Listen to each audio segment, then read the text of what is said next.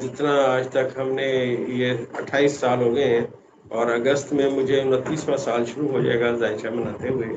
जायचे बनाते बनाते उम्र गुजरी है इसी दर्द की सयाही में। तो अर्ज़ ये है कि ये तो कोई केस ही नहीं है जिसके बारे में आप परेशान हैं, क्योंकि हमारे इलम के मुताबिक आस्ट्रोलॉजी में ये जो मैंने आपसे अर्ज़ किया कि नज़र कायम होने लगी है, इसके असरात बड़े दूर तक हैं।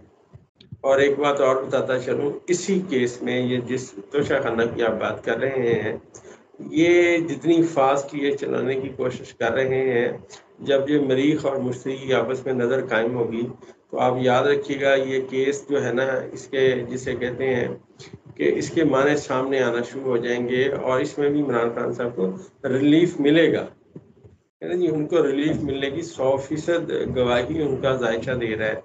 अस्सलाम जी, आप देख रहे हैं टुडे स्कोप और हमेशा की तरह मेरे साथ मौजूद हैं डॉक्टर उमर फारूक। आप इन्हें सुनते हैं, देखते हैं और बड़ा पसंद करते हैं, इनकी पेशन गोइयों को सराहते हैं।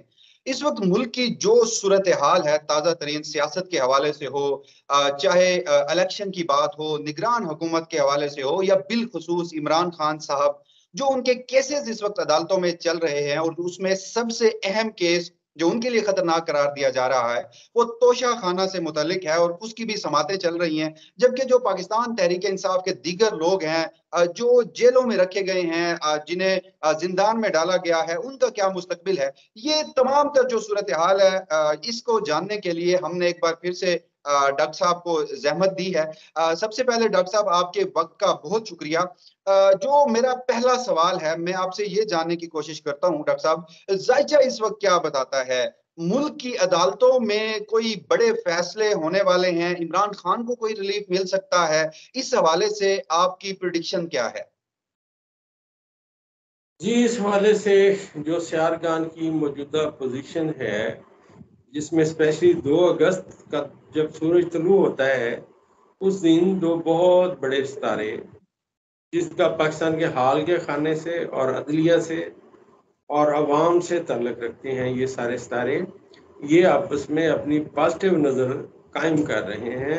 एक दूसरे को अपनी ताकत दे रहे हैं कम्युनिकेशन हो रही है और पॉजिटिव कम्युनिकेशन है। और ये सबसे ताकतवर तीन कम्युनिकेशन है जो सुबह दो अगस्त सुबह तकरीबन कोई, आप समझिए, साढ़े चार बजे शुरू होगी और ये आने वाले एक दिन कंटिन्यूस रहेगी। लिहाजा आपने जैसे बात की कि बहुत सारे केसेस हैं, इसमें खान साहब के भी हैं तो खान साहब के केसेस भी इंशाल्लाह उसमें ये जैसे आप देख रहे हैं कि ये कुछ भी नहीं कर सके और इनकी सारी जो एफर्ट्स हैं इस इस हुकूमत ने मासवा इसके के खान साहब के ऊपर केसेस बनाने के अलावा और आवाम को महँगाई का तोहफा देने के अलावा कुछ नहीं किया। दरअसल वसीम साहब जो सितारे हैं या जो इलम है, वो समझिए कि बहुत दूर है। इलम पढ़ना, उसके मुताबिक प्रडिक्शन करना अकल की बात करना और कोई सोच समझ के दलीली बात करना तो ये ज़रा थोड़ा मुश्किल काम है, लेकिन जितना हम काम करते हैं, डेली सारा दिन जायचे बनाते हैं और लोगों के सवालों के जवाब देते हैं तो उस हवाले से पाकिस्तान के अंदर जो मरीख और मुश्तरी की आपस में सात नज़र है, जो मैंने अर्ज़ किया कि दो अगस्त को होगी, और ये चलेगी, दो दिन ये चलती रहेगी, बल्कि असल में तो ये आप समझिए कि उनतीस जुलाई से ही शुरू हो जाएगा सिलसिला, और आवाम को रिलीफ मिलना, खान साहब को रिलीफ मिलना उनकी शहरत में इजाफे की बातें करना, ये सारी शुरू हो जाएँगी इनशाला क्योंकि जो नेगेटिव सूरत हाल थी, जैसे हमने आपके प्रोग्राम में, आपके इंटरव्यू में हमने एक बात की थी कि ये दो तारे जो हैं, ये नेगेटिव हो रहे हैं। और आप देखिए, मैंने कहा था कि पेट्रोल की कीमत में भी फ्लक्चुएशन होगी। आज पेट्रोल की कीमत ऊपर जाना दो तीन दिन से शुरू हो गई है। तो ये इस तरह सियारगान के असरात आते हैं, ये आते रहेंगे। लेकिन पॉजिटिव बात जो इन सियारगान को मैंने पढ़ा जो मैं समझता हूँ कि मेरा फ़र्ज़ बनता है कि मैं बयान करूँ तो मैं अर्ज़ किए देता हूँ कि अब ये जो सात नजरात कायम हो रही हैं, पाकिस्तान में मैंने पहले भी अर्ज़ किया है कि ज़ेर ज़मीन जो मादनियात हैं वो दरियाफ्त होंगी, उसके बाद जो मुल्क तक की किस्मत में जाएगा। सारे सारे अब यही बातें करना शुरू कर रहे हैं। अच्छा डॉक्टर साहब मैं जरा बिलखसूस जो आपने अदलिया के हवाले से और कुछ बड़े फैसलों का तस्करा किया, आपने उनतीस जुलाई से लेकर दो अगस्त तक की ये जो तारीख दी है, इसको मैं जरा स्पेसिफिकली लेकर चलूँगा क्योंकि आपकी इस प्रेडिक्शन में कहीं ना कहीं हकीकत इस तरह नज़र आ रही है कि मौजूदा वक्त में अगर आज के दिन की बात करूँ तो पाकिस्तान तहरीक इंसाफ के दो बड़े रहनमा जिन्हें तकरीबन कोई दो माह से ज़्यादा अरसा गुजर चुका मुख्तलिफ़ जेलों में रखा गया, जिनमें शहरियार अफरीदी और अली मोहम्मद खान साहब थे, आज भी उन्हें लाहौर जो पिशावर हाईकोर्ट है, वहाँ से बड़ा रिलीफ मिला है। तो मेरा जो सबसे पर्टिकुलर सवाल है, डॉक्टर साहब, वो ये कि अगर पाकिस्तान की अदलिया कुछ कुछ इस हवाले से बड़े फैसले देने जा रही है तो क्या वो उसको इम्प्लीमेंट करने में भी कोई किरदार अदा करेगी? क्योंकि हमने माजी में देखा कि अदलिया ने फैसले तो दिए, मगर अदलिया के फैसलों पर अमल दरामद नहीं हुआ। तो अगर इस बार इन बड़े फैसलों के बाद अमल दरामद ना हुआ तो इस पर अदलिया कोई बड़ा एक्शन ले सकती है?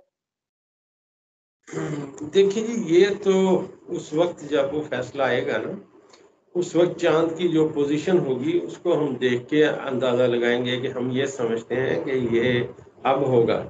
जहाँ तक आपने बात की कि अदलिया ने फैसले किए और इन्होंने उसको इम्प्लीमेंट नहीं किया, मैं आपको वसीम साहब एक बात बताता हूँ ज़्यादा बात नहीं करते।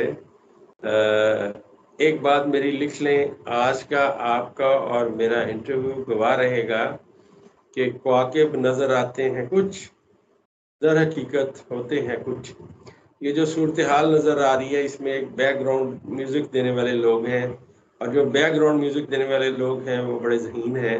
ये लोग उन्हें हमें समझ रहे हैं। मरीख की और मुश्तरी की जो साथ नज़र है, इसके आगे इनकी जो नज़र है, वो यूनस के साथ भी होनी है। मरीख की पॉजिटिव नज़र अब यूनस के साथ भी होनी है।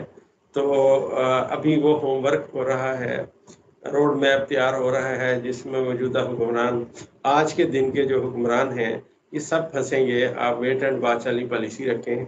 और आपको नज़र आएगा कि इन्होंने क्या किया क्या इन्होंने ब्लंडर किया और क्या इनके सामने आया।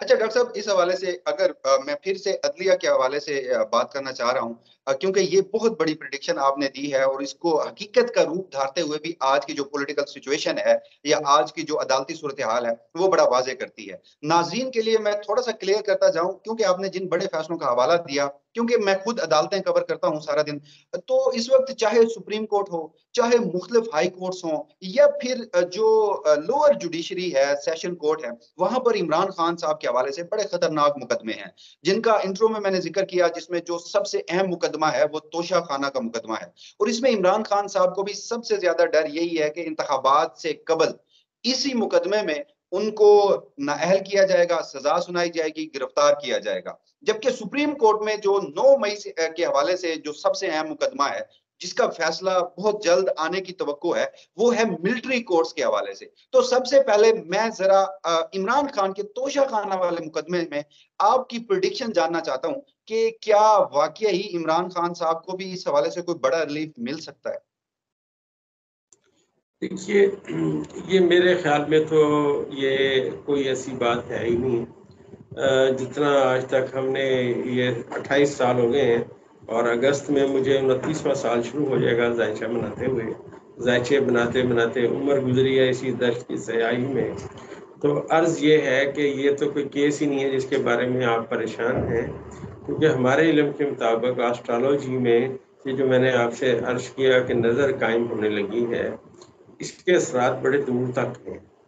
और एक बात और बताता चलूँ, इसी केस में ये जिस तोशा खाना की आप बात कर रहे हैं ये जितनी फास्ट ये चलाने की कोशिश कर रहे हैं, जब ये मरीख और मुश्तरी की आपस में नज़र कायम होगी तो आप याद रखिएगा, ये केस जो है ना, इसके जिसे कहते हैं कि इसके माने सामने आना शुरू हो जाएँगे और इसमें भी इमरान खान साहब को रिलीफ मिलेगा। ना जी, उनको रिलीफ मिलने की सौ फ़ीसद गवाही उनका जायचा दे रहा है।